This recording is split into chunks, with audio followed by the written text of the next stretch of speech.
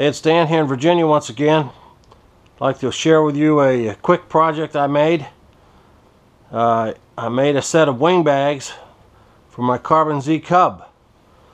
It's Christmas time and I looked around I said, hey, I need a set of wing bags for this new airplane to keep from damaging them when I transport them in my pickup truck. But you look all around and there's plenty of wing bags out there, but they're mo mostly made for tapered wing 3D and sport kind of airplanes. They don't make them for these Cubs with the square wings. Perhaps they will uh, in the future here as the Cub catches on more and more, this new one with the square, squared off wings. But anyway, went on a forum, the guys gave me some ideas.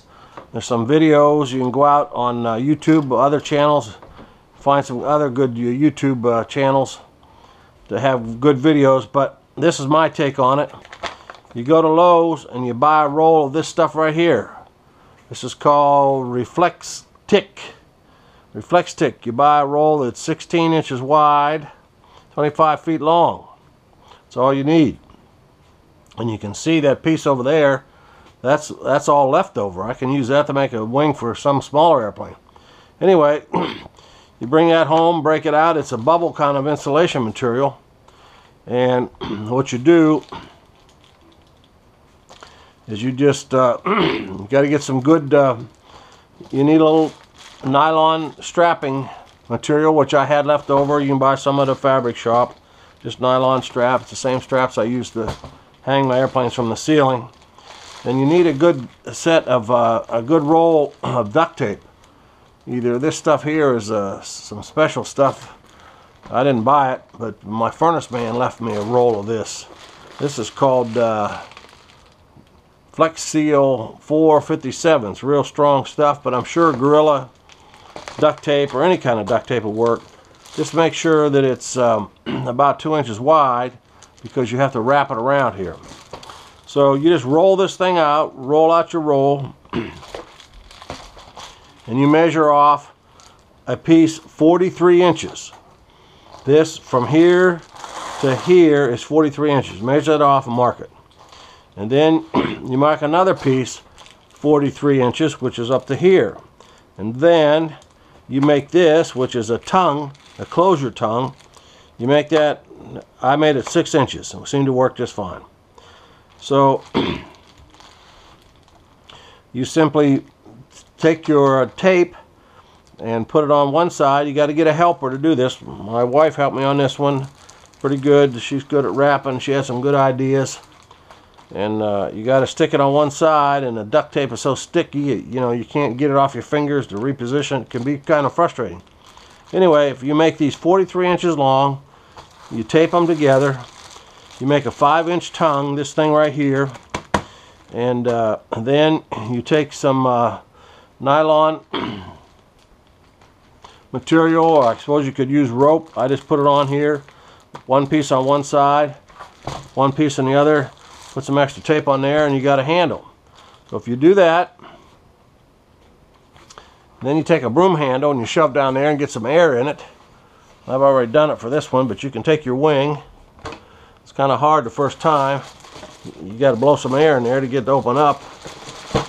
And uh, it seems to work best if you, these control horns can sort of hang up when you go to put it in here. But you push that right down in there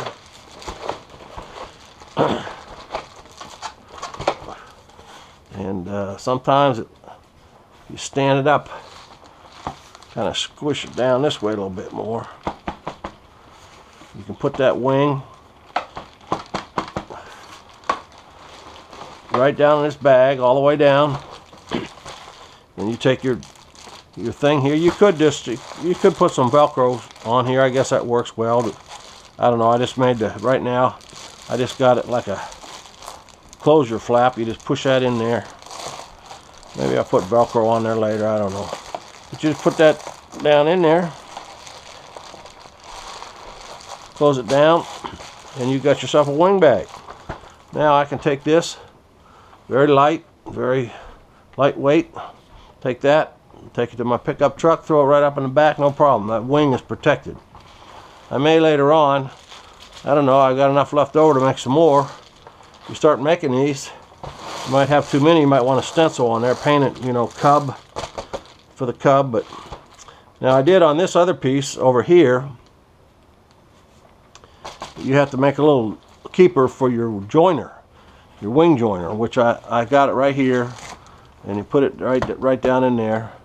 You just take a piece about four inches wide, tape it on one end, and uh, tape it right over top of the wing joiner.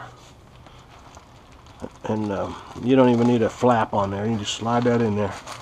I forget, well this is 30 piece, uh, I don't know what that is.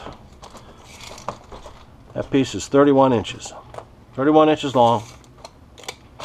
Tape it on the outside of the bag and you got yourself a, you don't even need a little flap, it'll just stay in there with the friction.